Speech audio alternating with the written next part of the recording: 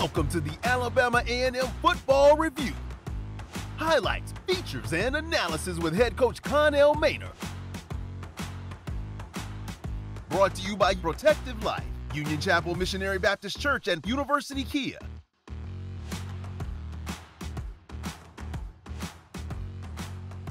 Good evening and welcome to the Alabama A&M Football Review with head coach Connell Maynor. I'm your host, Ted Dixie. Coach, of the 82nd Magic City Classic didn't turn out the way we wanted it to, and I guess we could say as an institution, if it wasn't for the marching maroon and white and for the cheerleaders, we might look like we didn't show up.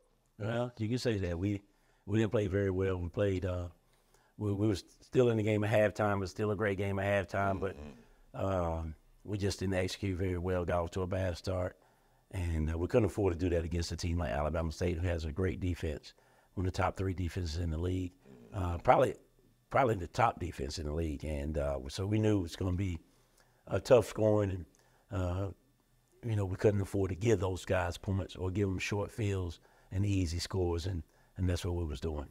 You saw a lot of anger on your team after the game, Coach. I know that I noticed it on the sideline was they were going into the tunnel.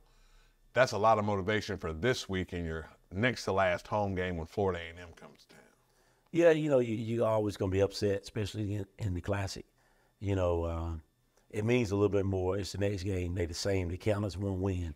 But when you talk about the Magic City Classic, you really want to play well, and you want to get the win for the fans and uh, the university, uh, the president, and AD, and everybody that's involved. and uh, we weren't able to do that uh, yesterday, so yeah, we were disappointed, and uh, you know, we we had opportunity and we didn't take advantage of it. We laid an egg as well on the broadcast, having difficulty getting a signal out of Legion Field. You know, we thought we fixed that years ago because your cell phone stopped working. Usually you knew it was classic time because your cell phone didn't work on Friday night, and that carried on through the day. Were there any other kind of interruptions, coach, or things that just had us out of sync a little bit that you noticed? Well, we got we left at the normal time we always leave uh, to get there, and um, we we didn't have the same amount of uh, police guard, police security to get us there on time. So we arrived about ten minutes later than we normally do, and then we had to sit out in the in the middle of the road for 25 minutes uh, before we got into our locker room um, because of when Alabama State buses sitting in the middle of the thing and nobody could get by. So it, that put us behind about 45 minutes of when we normally get there. We normally get there two hours and a half before the game, and now we wind up getting there uh, an hour and 45 minutes before the game. So it kind of threw our schedule off of what we we normally do before the game. Uh, not to make any excuses, but that happened. And of course, there's a rhythm to all this kind of things, folks. Is that the timing before a ball game? Things have to happen at a precise time. But I was still wondering after halftime, coach, and after we look at the highlights, we'll be able to talk more about this. The halftime got a little extended as it always does in the classic. But this time it looked like it got a little bit more extended. Did they tell you anything about that when you came out to the half? Because y'all were on the sidelines warming up. Yeah, no, they didn't say anything, and uh, I I kind of figured it, the halftime would be extended because when we got in the locker room, it takes us three, four, five minutes to get in the locker room, and I look at the clock in the locker room, it was just starting at 20 minutes. So I mean, they already held the clock for four or five minutes Right. already. so I figured that's why they did that because they was going to extend it five minutes. So, you know, again, you want to go back out about four or five minutes with, on the clock so you can stretch in the end zones, get loose, and then you play. Well, of course, we go back out four or five minutes before, stretch in the end zone, get ready to play. The band's still on the field for another six or seven minutes. So, you know, but it, it, in that situation, no team had advantage because they was in the same boat as us. But it was just stuff just kept happening, you know. And you know, you got to be prepared. You got to be ready to adjust, and uh, that's life. That, you know, you get there, and there's, there's a big old wreck. You got to see the light, you know. So that's life. That's part of it, and that's what we teach these guys all the time. Give them life lessons, and that's another life lesson that you can learn from. That everything always go the way you expect it. What you going to do? Of course, coach, starting out the ball game and having the special special teams miscues that happened. Both teams were having it. It looked like if you had more, whoever had the most punt return yardage was going to win the ball game. Yeah, they they returned the punt on us. We didn't get down the field. Uh, didn't, didn't get our lanes, and he ran it back. I don't know if we even touched him. And then on another punt, you know, we, we lost contain, and he got down the sideline for about 30, 35 yard return. When all we got to do is just keep contained and force them back to where everybody is. The outside guy lost contained. So uh, this game, you know, it takes all 11, and everybody has to do their job. If you're not in your lane, not in your gap, you'll get gashed. And uh, uh, we, we, those, those things are correctable, but those things also can cost you games. You're trying to develop young student athletes. Special teams is usually a place where you can do that, correct? Yeah, yeah. You get try to get those young guys out there and, and get them out there, and so the so your starters can just focus on offense and defense and, and stay fresh. Uh, but you know, at the end of the day, we're gonna probably have to start getting our best players out there, and uh, they got to play more. They got to play more snaps. You know, if the defense played 65 snaps yesterday, you add another 20 with special teams, that's 85. Uh, Travis Hunter played 90, 90, 120 snaps a game. We can't play 75, 80. And we're talking about the Bulldogs getting ready, closing out the Magic City Classic, but getting ready for the next home game. That's when Florida A&M, who are going to win, who will win the Eastern Division of the Southwestern Athletic Conference, but we get a chance to gas them on their way out the door. And we'll talk about that next on the Alabama A&M Football Review with head coach Connell Maynor. Engineering and science usually look like this, but our students build race cars from the ground up, explore wind tunnels, particle accelerators, and crystal growth. Our studies in cybersecurity and rocket propulsion have tech companies like Google and SpaceX recruiting at Alabama A&M University with one of the highest percentages of women STEM graduates in the country. Alabama A&M University. Start here, go anywhere. Don't get hit hard by low trade offers. Get up to $5,000 over Kelley Blue Book fair market value for any trade at University Kia. Check out our large selection of new Kias. University Kia proudly supports Alabama A&M University football. Go Bulldogs! Union Chapel Missionary Baptist Church, a church with a big heart of love. Located at 315 Winchester Road in Huntsville, Alabama under the leadership of Dr. O. Davis. The worship services begin at 7:45 a.m. and 10:45 a.m. every Sunday. Now, we pray that you are blessed by our worship experience. In golf, if you make a mistake, there is a mulligan. Well, in God, if you make a mistake, there is mercy. Aren't you glad God has mercy for your mistakes? Hello, I am PT, Pastor Troy. I want to invite you to come and worship with us at the Fellowship of Faith, where Jesus is exalted and the Word is explained. We love Alabama A&M. Go Bulldogs! Companies hunger for our food scientists. Here, a new generation manages our cities of tomorrow.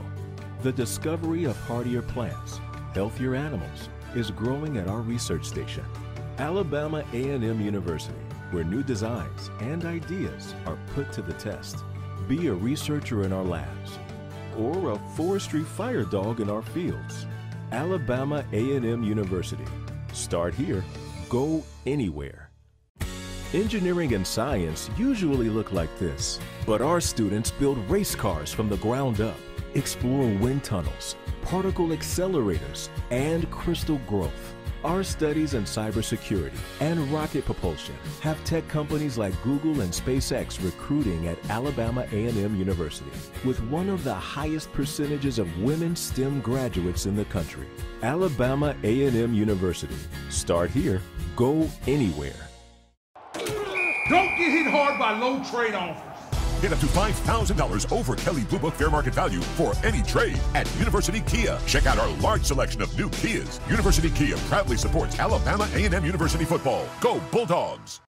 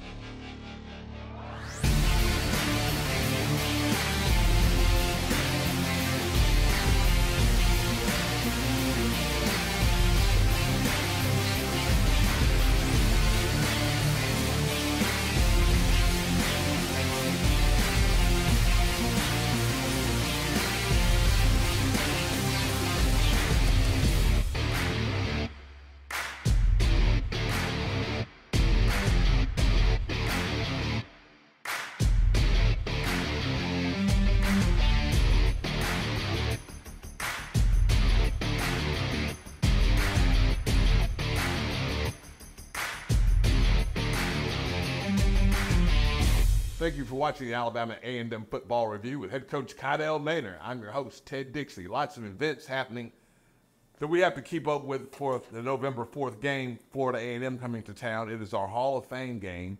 You will get to see our new Hall of Fame inductees. It is Military Appreciation Day. We thank you all veterans for so much that you do for us.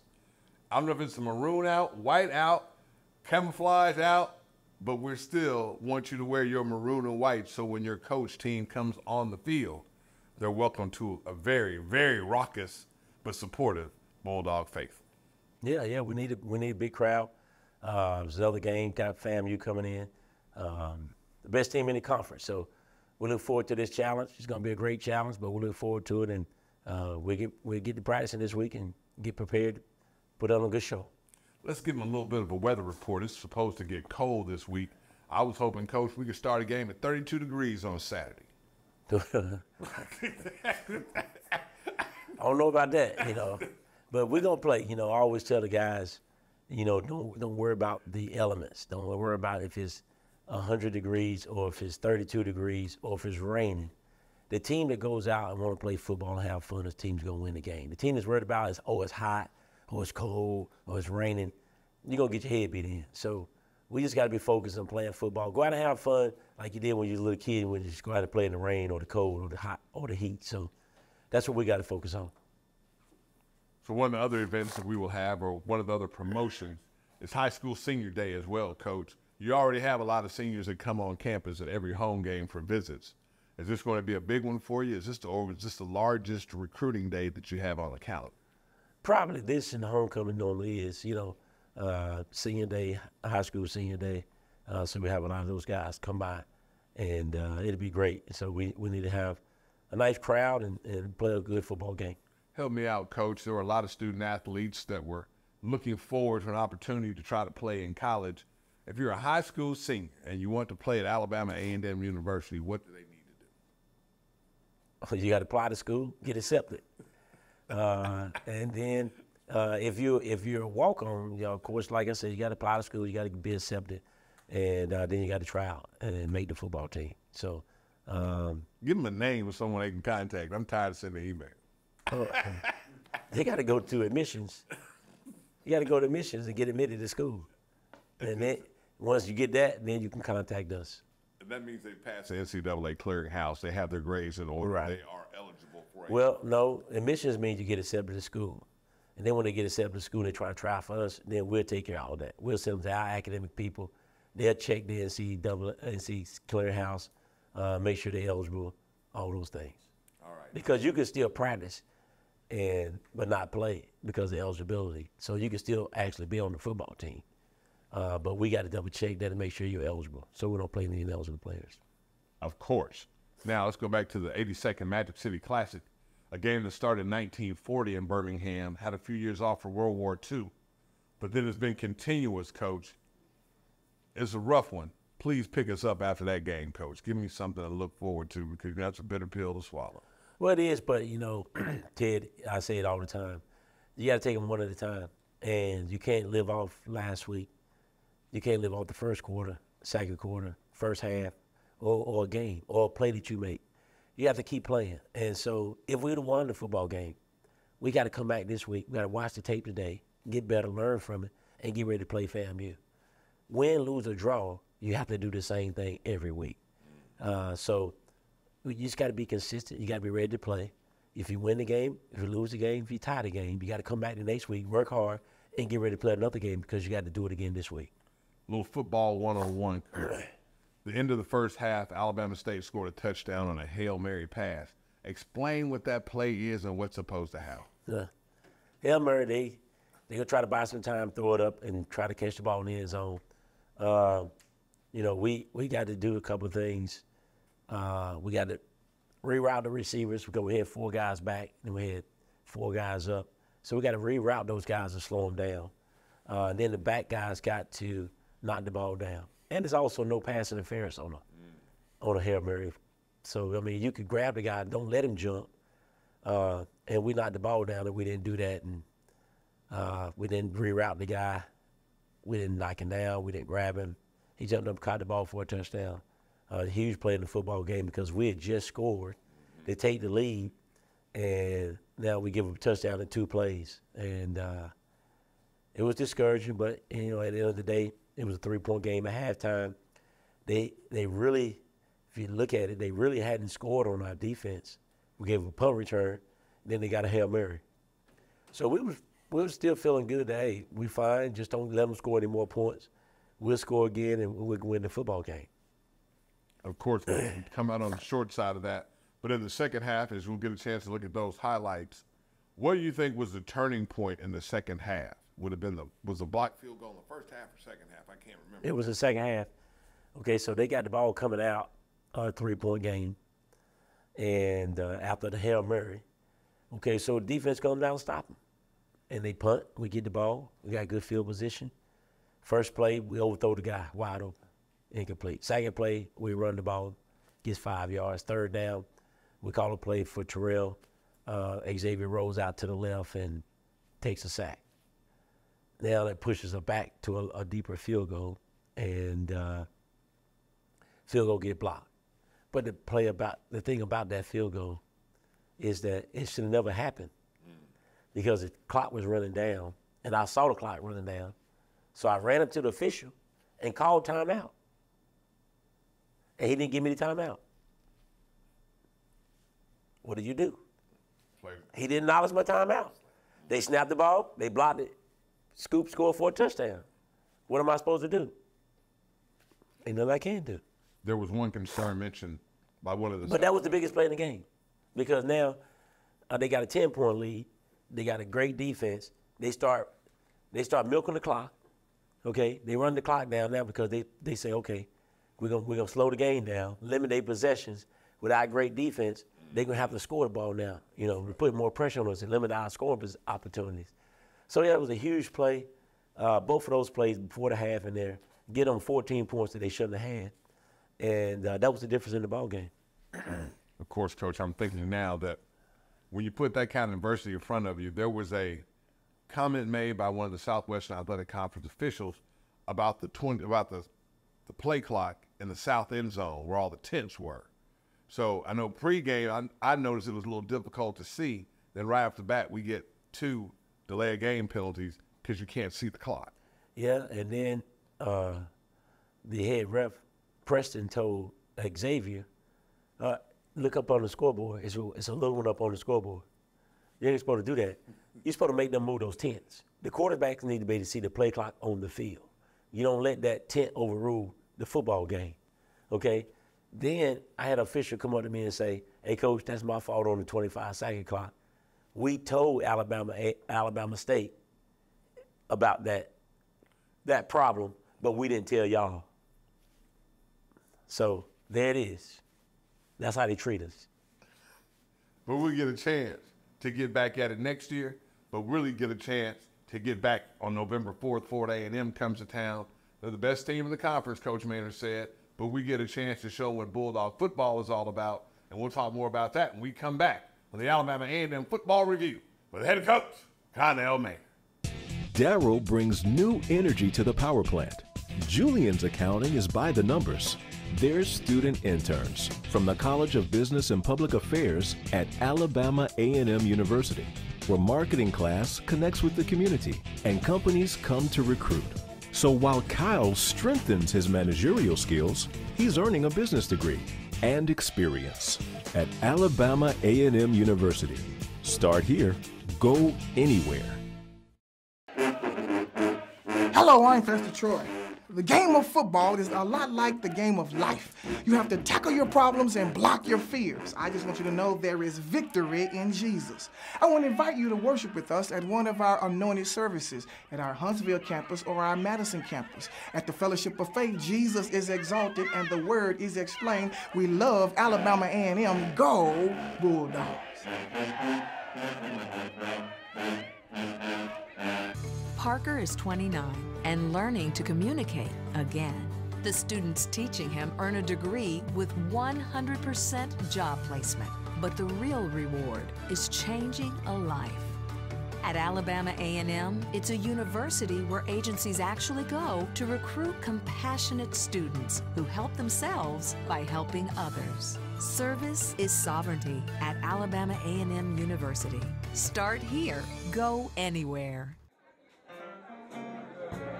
Union Chapel Missionary Baptist Church, a church with a big heart of love. Located at 315 Winchester Road in Huntsville, Alabama. Under the leadership of Dr. O. Wendell Davis. The worship services begin at 7:45 a.m. and 10:45 a.m. every Sunday. Now, we pray that you are blessed by our worship experience. Hello, I'm Pastor Troy. The game of football is a lot like the game of life. You have to tackle your problems and block your fears. I just want you to know there is victory in Jesus. I want to invite you to worship with us at one of our anointed services at our Huntsville campus or our Madison campus. At the Fellowship of Faith, Jesus is exalted and the word is explained. We love Alabama A&M. Go Bulldogs.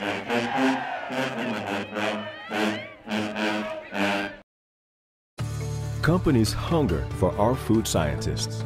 Here, a new generation manages our cities of tomorrow. The discovery of hardier plants, healthier animals, is growing at our research station, Alabama A&M University, where new designs and ideas are put to the test. Be a researcher in our labs or a forestry fire dog in our fields. Alabama A&M University. Start here, go anywhere.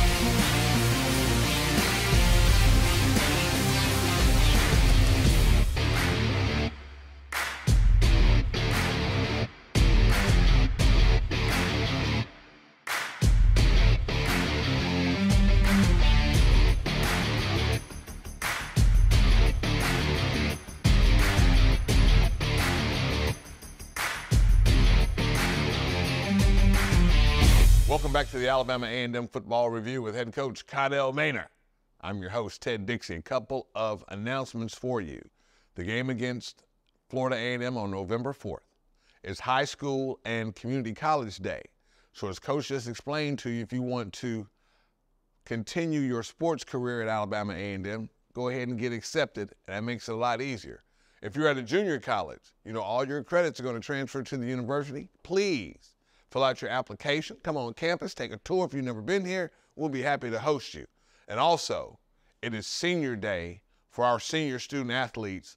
Coaches like I told Terrell Gardner and John Williams, hey, thank you so much for your service.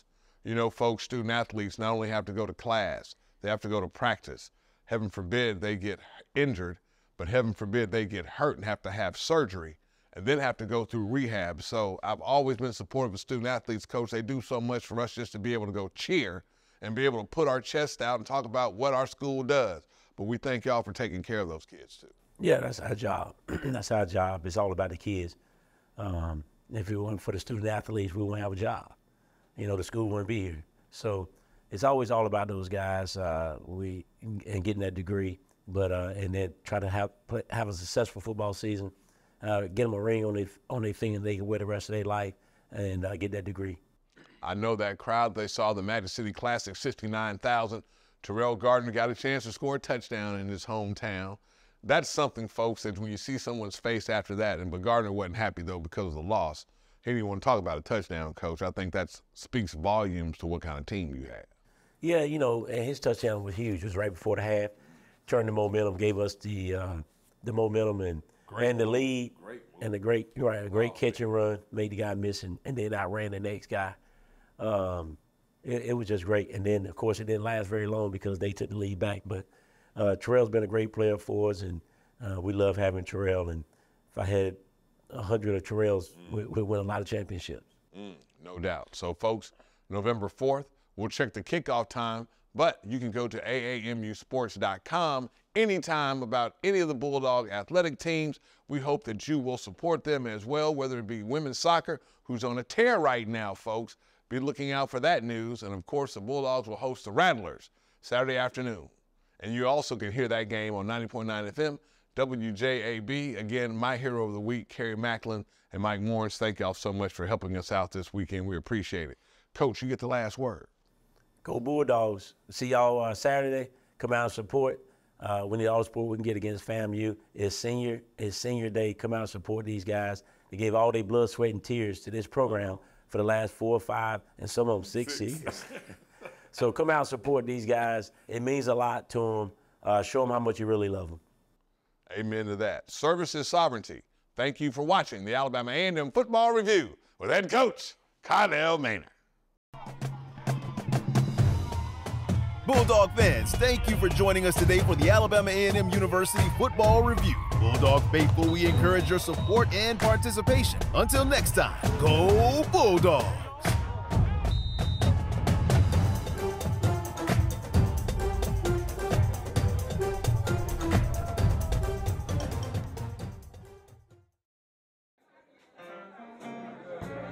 Union Chapel Missionary Baptist Church a church with a big heart of love.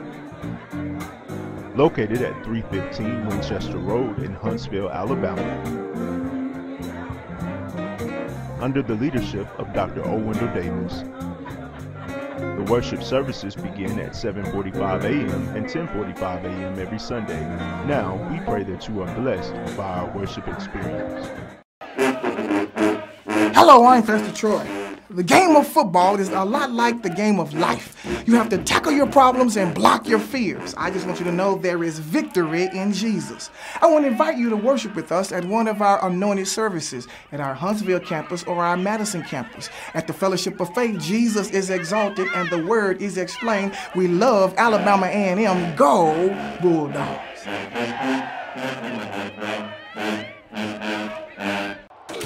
Don't get hit hard by low trade offers. Get up to $5,000 over Kelley Blue Book fair market value for any trade at University Kia. Check out our large selection of new Kias. University Kia proudly supports Alabama A&M University football. Go Bulldogs!